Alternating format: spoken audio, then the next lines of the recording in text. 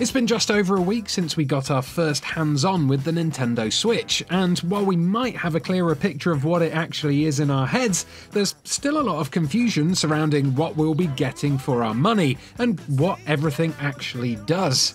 So, to try and help you make as much sense of the Switch as humanly possible so you can make an informed purchase come launch day, we've put together this list of 62 little details that you might have missed.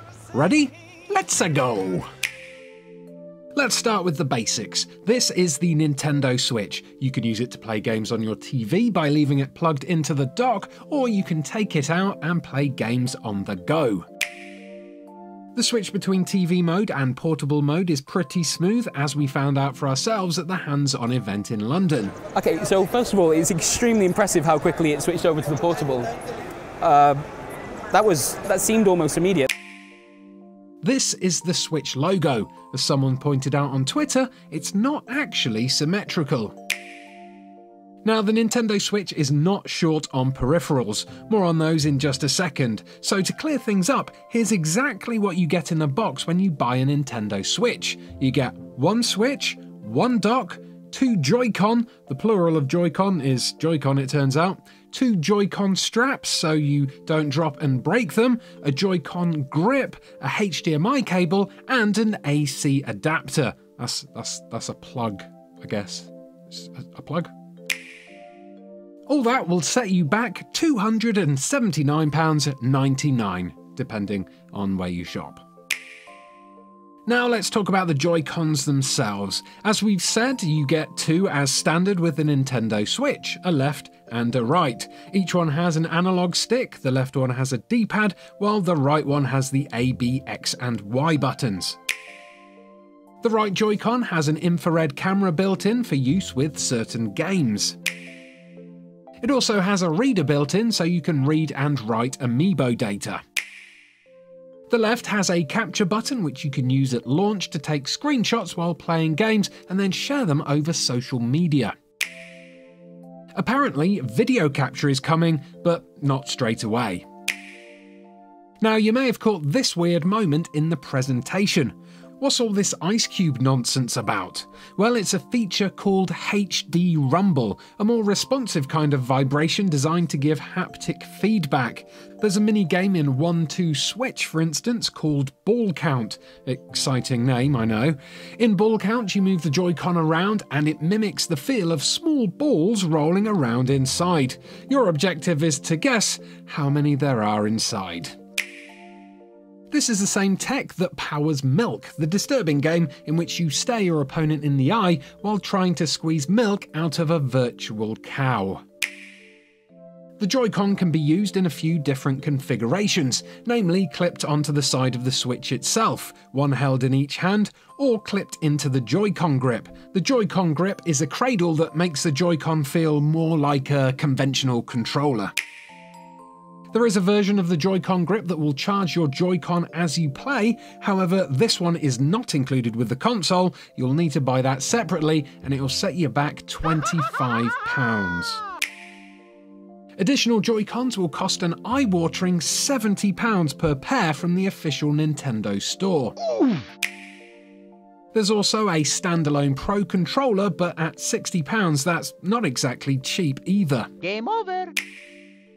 Both Joy-Con have extra buttons hidden on the inside seam. These are intended to help make more games playable with just one Joy-Con as well as two, so you can try local multiplayer like, say, Mario Kart 8 without having to buy an additional Joy-Con. Now, let's talk about the wrist straps. These are attached to rails that the Joy-Con clip into to prevent it from flying out of your hand and smashing something. These clips incorporate the hidden buttons we talked about and generally make the Joy-Con a bit chunkier to hold. If you think the standard grey is a bit boring, don't worry, the Joy-Con are also being released in neon blue and neon red colours. Now we've covered the controllers you'll be using with the Switch, let's get back to the console itself. The battery life of the Switch in portable mode will vary from game to game, but ranges from 2.5 hours to 6.5 hours. However, as well as charging via the dock, you can also charge the Switch with a USB Type C portable battery. So if you bought one for Pokemon Go last year, you're in luck. Since the Switch is designed to be taken places, you'll be pleased to hear it's not region locked. It's also got a touch screen, though this was referred to as a touch panel in the presentation. It's also worth pointing out that the screen is capacitive like an iPhone screen rather than resistive like the Wii U or 3DS screen. In layman's terms, that means you probably don't want to drop it or this might happen. Oh, that's actually my phone dropped it on the dropped it on the concrete.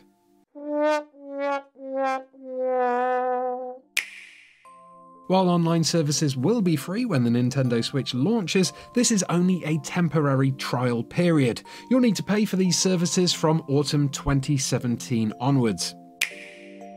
If that's put you off playing games online, you could always try playing locally. Up to eight Switches can be connected via wireless.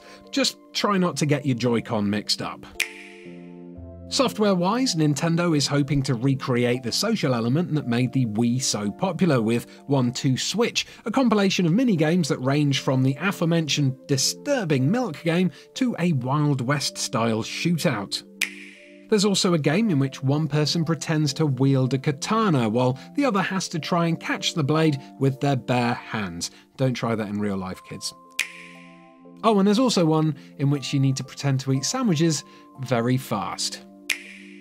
1 2 Switch is just one of the five games available on launch day in the UK. The other games are Super Bomberman R, Just Dance 2017, Skylanders Imaginators, and of course, The Legend of Zelda Breath of the Wild. Despite the fact it won't be available until spring, Nintendo has also been making a big deal out of ARMS, a boxing game that sees you hold a Joy-Con in each fist, twisting and flailing them to dodge, block, and punch your way to victory. ARMS can be played online in split screen or by linking to a second Switch for local multiplayer. It also features characters with such inspiring names as Springman and Ribbon Girl, which is weird because my parents were going to call me Ribbon Girl if I'd have been born female. Hmm. Splatoon 2 was also shown off during the presentation and at the hands-on event. It makes some modest changes to the original experience, introducing new stages, special moves, and a new weapon. The new weapon is Splat Dualies. These are basically twin paint submachine guns, making up for their modest power with a high rate of fire. When using the Splat Dualies, you can also do a combat roll, just in case you want to feel like a more colourful version of McCree from Overwatch. You can tell Johnny wrote this script, can't you? Because of the accelerometers built into the Joy-Con, you can aim gyroscopically however you're playing Splatoon 2, be that in TV mode or portable mode. While Super Mario Odyssey is one of the most highly anticipated first party titles for the Nintendo Switch, it sadly won't be available until the end of 2017, meaning we've got almost an entire year to wonder about that hat. Seriously, is Mario's head in its mouth or its bum? We need to know. All in all, Nintendo tells us there are over 80 games in development for the Nintendo Switch, some of which have got full blown trailers, while others we've only been able to glimpse. In addition to the ones we've already mentioned, we definitely know about Dragon Quests 10 and 11, they're being released in Japan, we're not too sure about the West yet. Dragon Quest Heroes 1 and 2, Shin Megami Tensei, Project Octopath Traveler, Skyrim, a new game starring Travis Touchdown. what the fuck? FIFA, Sonic Mania, Minecraft, Dragon Ball Xenoverse 2, Steep, Fast RMX, Snipperclips, Has Been Heroes, Mario Kart 8 Deluxe, Disgaea 5, Puyo Puyo Tetris, Rime, Syberia 3, NBA 2K18, Ultra Street Fighter 2, Xenoblade Chronicles 2, Rayman Legends, and at least one LEGO title. And that just about does it, except for the most important detail of all Do you actually want one? Let us know your thoughts on the Nintendo Switch in the comments below, along with any details you think we might have missed. Hopefully you enjoyed this video. If you did, you might want to check out some of our other Switch coverage. Give this video a like and subscribe too if you feel like it. Either way, thanks for watching. Goodbye.